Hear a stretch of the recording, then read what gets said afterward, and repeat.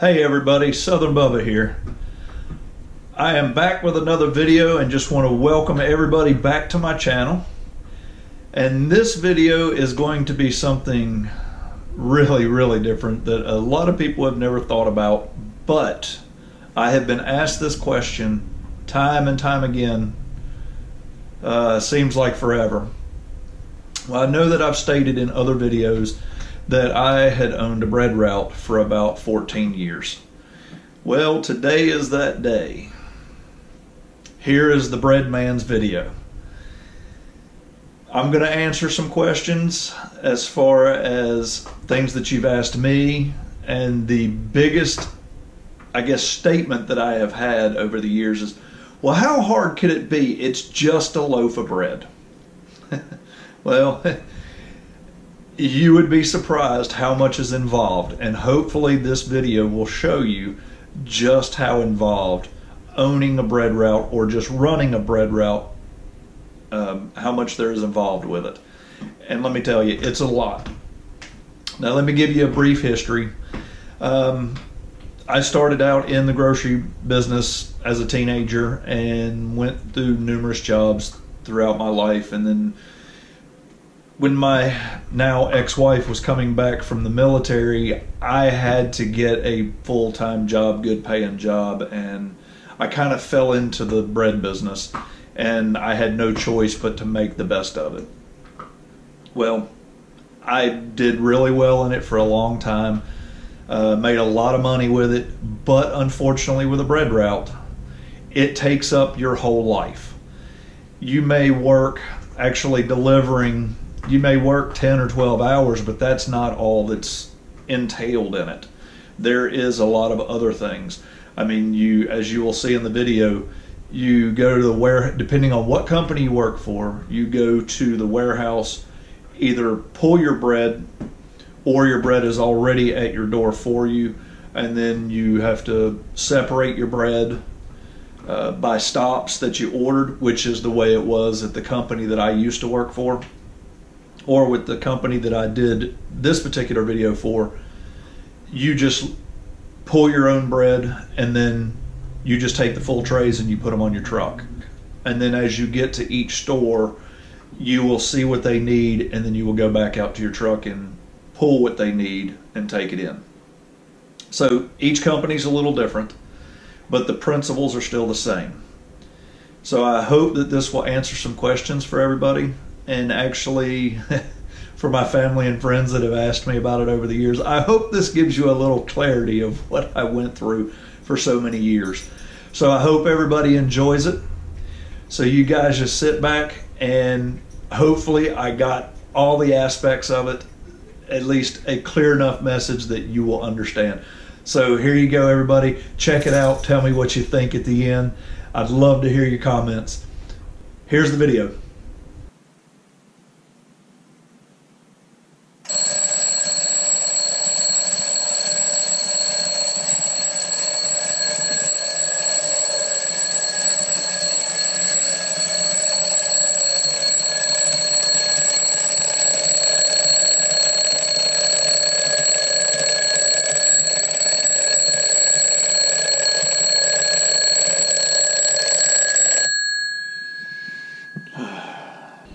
Guys, it's about quarter to five in the morning. This is actually Memorial Day, and I'm fixing to head out to go deliver some bread. Who wants to go with me? And just to give you an idea, everybody's off work today except for mainly your retail. I got up at 3:45 this morning to go do this bread route. So those of you that know me that have been that knew that I had a bread route at one time and sold it now you're going to get to see what I kind of what I go through and what other vendors go through when it comes to dealing with grocery stores, the process at which you have to do it. So you guys come along for the ride and let's get this done and show y'all exactly what it is. So I'm going to grab my stuff. I already got my lunch packed, got the computer and the printer ready to go. So I'm going to go ahead and walk out to the truck and we're going to get started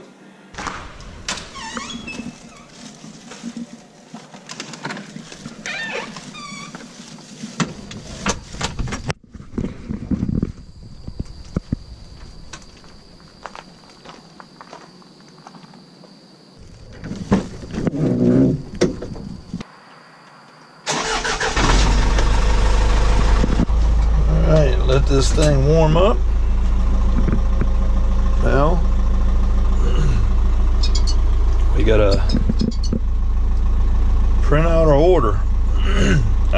Be running a Pepperidge Farm bread route.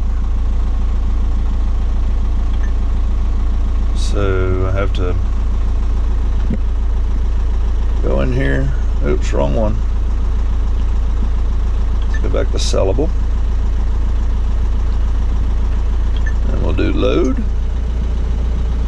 And we have to highlight today's orders.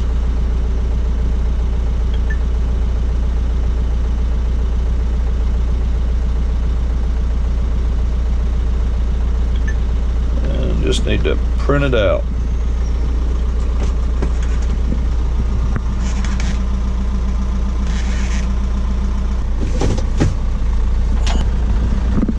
Let's head on down the road.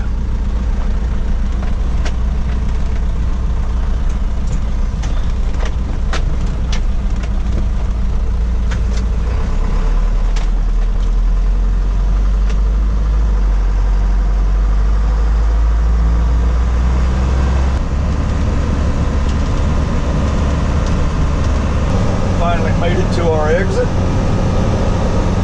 after about a 15 minute drive or so.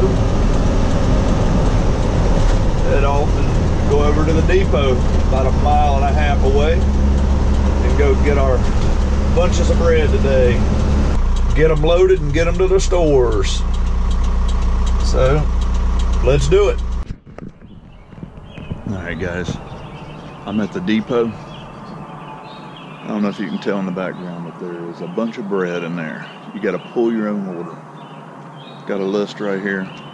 Got to grab what I ordered. Let's go check it out.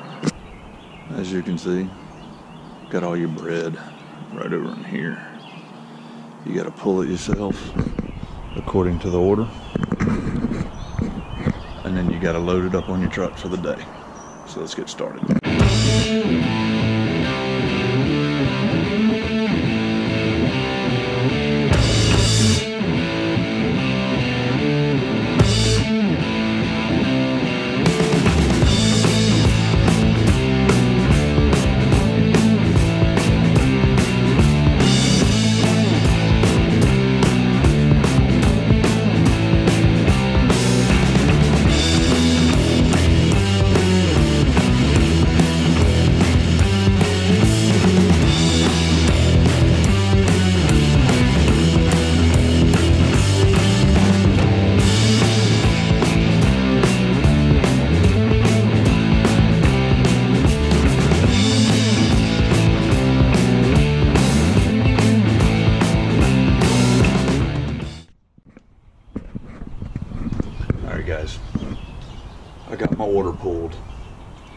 Takes about 15 to 20 minutes to pull your order here, depending on how big it is. When I was at my old company, they pulled our order for us and had it by our door. They do it differently here at Pepperidge Farm, which is fine. It's not that big of a deal. Uh, and at Flowers, we also would separate at the warehouse. We'd separate our load to corresponding stores. Well, here you just pull your load and then you get. We go into each store here to see what the store needs and then we come back out of the truck and pull our order. So it's a little bit different here and you'll see that in the video. But I'll go ahead and show you what my load is today. It's it's a little small compared to what I have had because this is after Memorial Day. And this and this video is going over a few different days uh, as I can get it recorded. So just to give you an idea, because I'm sure you'll see me in different clothes every day. But here's what I got so far. All this is my bread here. It's about it's about 40 trays. Now let's unload the stale and all the empty trays and get the new stuff and get all the new stuff loaded for the day.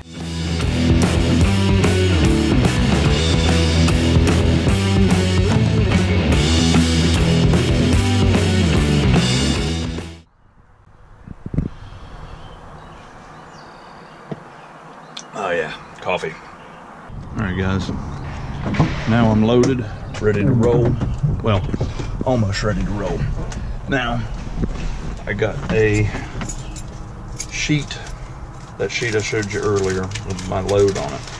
Now I've got to do some adjustments, things I was missing. So let me do that and I'll be back.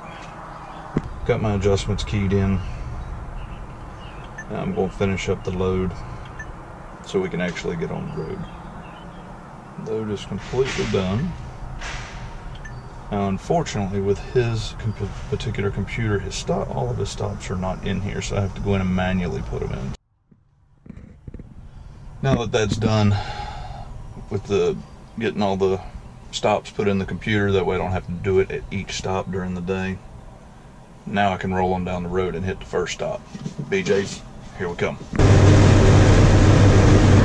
Like I said, today is Monday, Memorial Day 2019. Nobody on the roads really. This is the big day. Mondays is always rough on this route.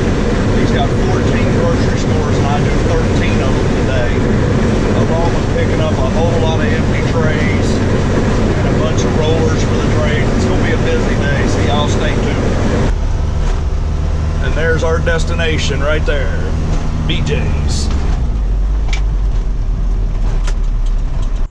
All right, for another step of the process, we're going in to a grocery store to do the pull stale and stock them up, get the order, and get it pulled in the back of the truck. So let's go get this done.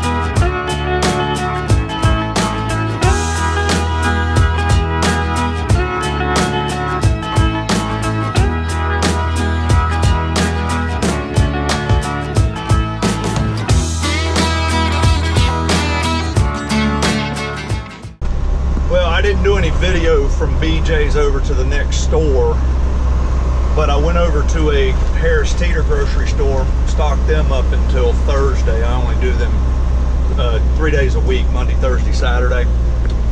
And I asked the receiver if I might be able to do a little bit of video footage for you guys on the check-in procedure process. And she thinks that the or she says that the I'd have to ask the store manager, which I'm gonna be honest, that store manager's probably gonna say no. I'll try to get it done in another store, which they I have a really good reputation with. So we will see what happens. So I hope you guys get to see the actual check-in process just to give you an idea of what it's all about. And between the stores, they're pretty much all the same, just little differences here and there.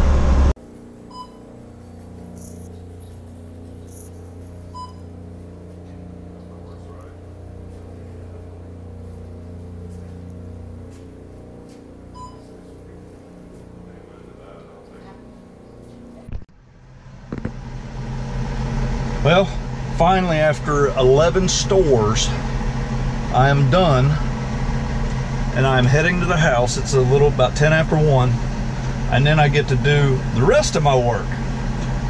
There's more to do. It ain't finished yet. Just because I'm done with the stores doesn't mean it's finished yet. So I will show you that next. Here we are, the next step. I'm in the back of the truck. As you can see, got back stock which is today's quite a bit been slow after the holiday. So now it's time to condense all this, get all these empty trays taken care of, and just get the truck straightened up for tomorrow's load. So let's get to it.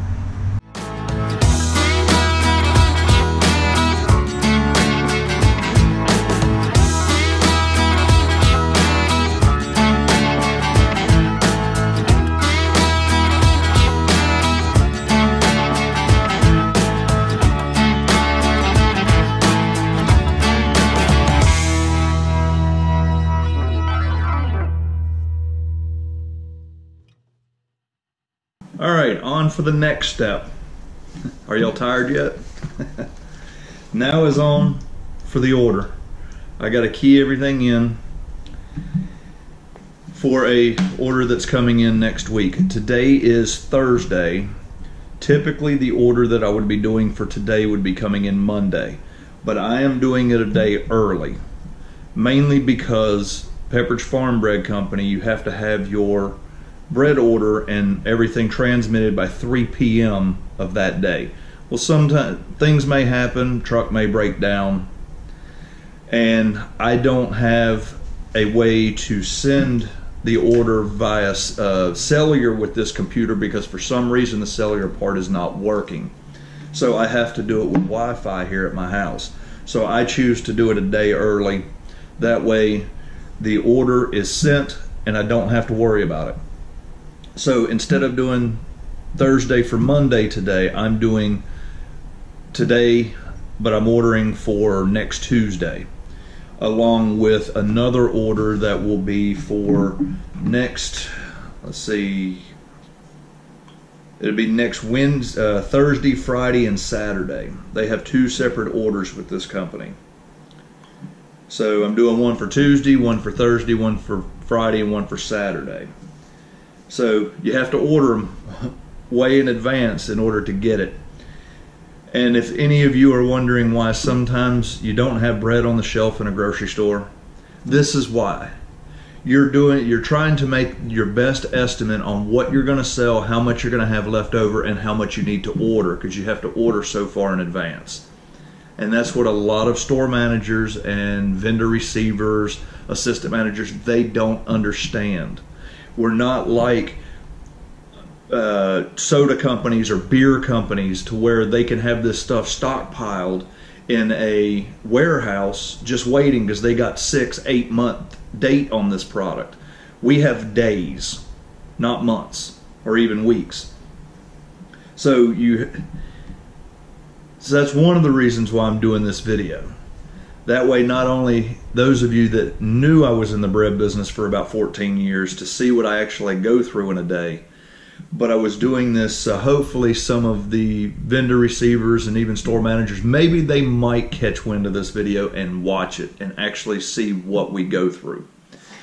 And when you have vendors that are other vendors that hold you up that's got a huge order in front of you, or you have a receiver that's doesn't do this all the time, it can throw your whole day off. You can get stuck for 15 minutes waiting to get your stuff checked in and checked out.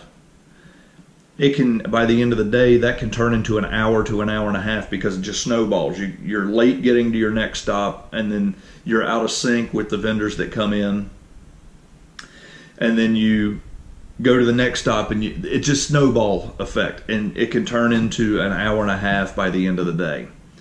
So i've got all my paperwork here for items that are going on sale soon for different grocery stores and i have my other orders that i have already printed out that i've already made. So i have to go through these and order for next tuesday on what i think is going to go on the shelf and what I need for displays. So let's get to it.